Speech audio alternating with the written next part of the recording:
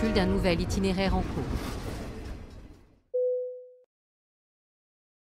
Recherche d'un nouvel itinéraire.